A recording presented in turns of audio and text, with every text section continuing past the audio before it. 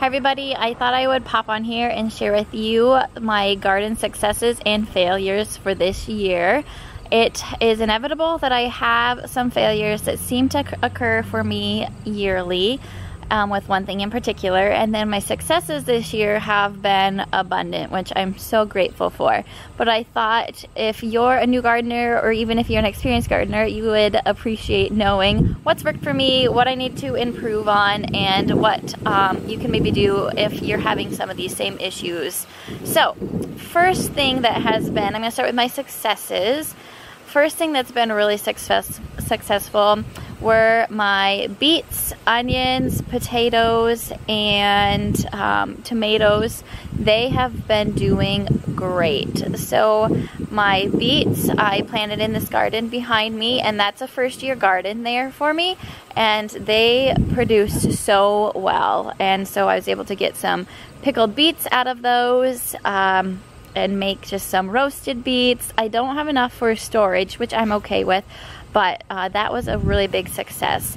And then my onions and potatoes are in a garden on the other side of our garage and they flourished this year. The sun keeps moving on me in this tree. So they did really well because they had full sun. Um, I kept up on the watering because it was such a hot, hot year. Um, when you're seeing this, it is mid-August, so uh, garden is in full season, really in full produce mode.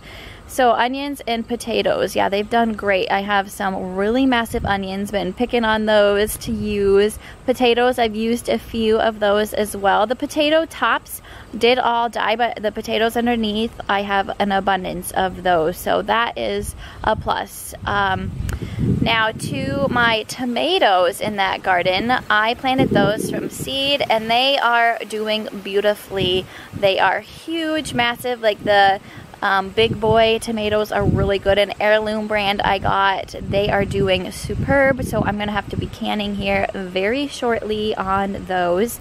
And then... Um, there's just a few other things that did all right like my corn behind me that did okay. I found out I am low in nitrogen in this garden. So one thing that you need to do before you start a garden is check your soil and put some nutrients into it because we did not end up doing that and so it was lacking and I found that out from my dad, who is a farmer, and so everything in that garden was yellow, including my bean plants. And so they didn't do great. The beans did not do too well.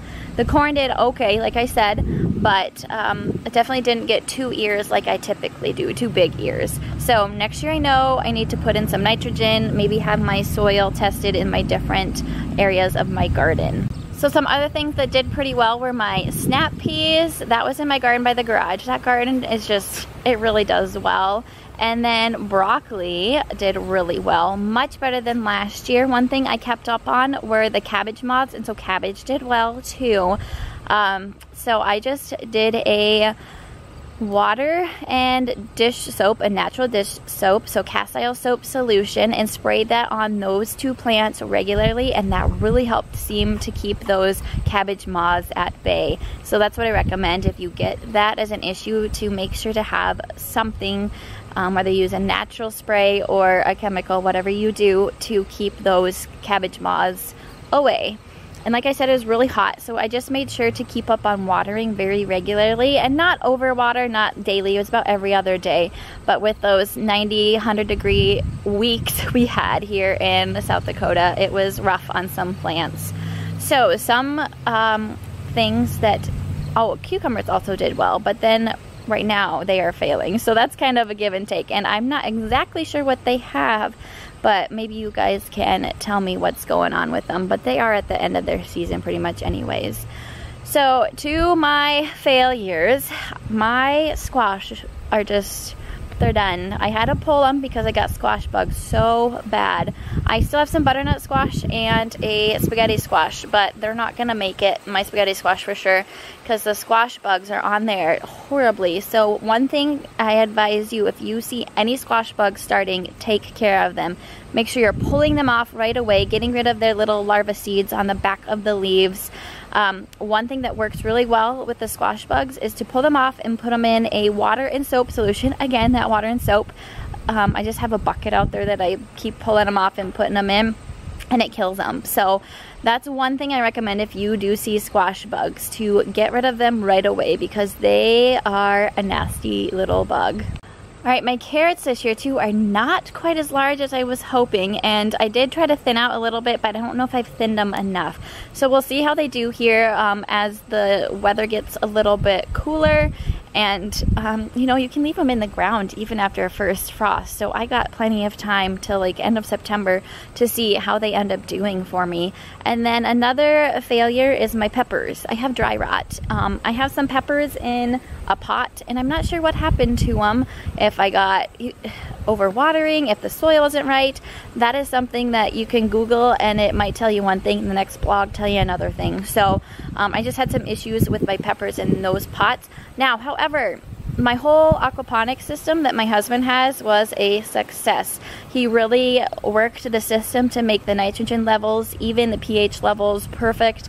And so plants are thriving now. Initially it was up and down because he couldn't quite get the levels right, but now everything is doing really well in the aquaponics system. And then just for fun, sunflowers are huge, they're massive, they're growing really well. It's so fun to have those around my potatoes and tomatoes there. So that's really about everything I planted.